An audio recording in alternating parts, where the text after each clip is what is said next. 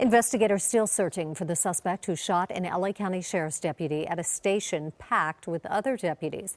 That shooting happened yesterday on Jackman Street and Sierra Highway. It's in Lancaster. KCAL 9's Kara Finnstrom reports the deputy was moments from taking off his protective, protective gear when he was shot.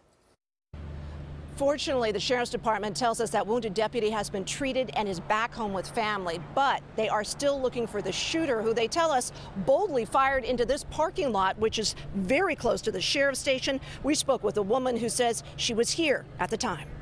That look on that officer's face, I will never forget it. She had a panic look. Carol Garcia was inside the Sheriff's station yesterday afternoon when she heard a single pop. Within seconds, she says deputies were running everywhere. Uh, take a shot from the north of the Lancaster helipad.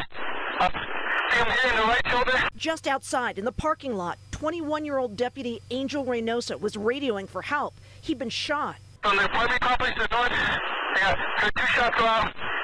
My sister to the right. There was just all kind of cars coming with officers putting on their vests and she, we were just looking over this brick wall over there. The deputies raced to help, not knowing if they too could be in the line of fire.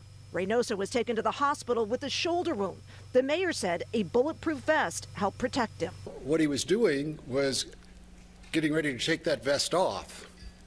Had he done so, this would be a much more tragic situation. SWAT team members moved into the nearby apartment complex and searched it and nearby streets for hours. Two people were detained but later released.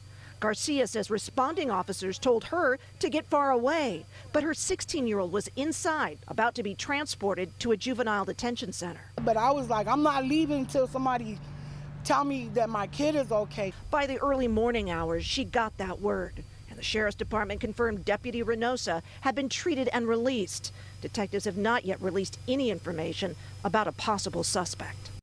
There are security cameras here everywhere. We have not yet heard back from investigators, so we don't know exactly what they captured, but hopefully they recorded something that can help in this investigation. Reporting here from Lancaster, Kara Finnstrom, KCAL 9 News.